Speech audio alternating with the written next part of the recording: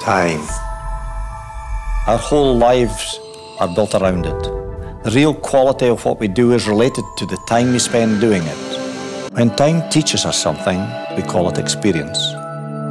Whisky experience is something that you learn. Skills are carefully handed down from generation to generation. Only time measures our pursuit of perfection. Maturation cannot be rushed. Like people, casks mature at their own pace. I have protected and cared for this barrel for 50 years, letting it breathe and patiently waiting for the magic and interaction of whisky and wood. Single malt is a combination of an age-old relationship between Mother Nature and Father Time, half a century.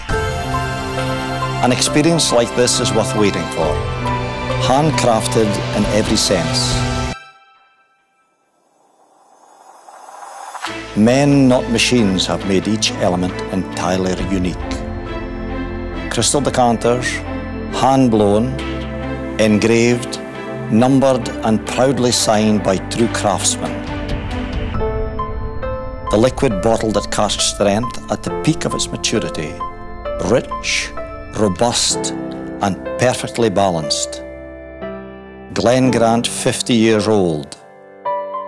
The time has come.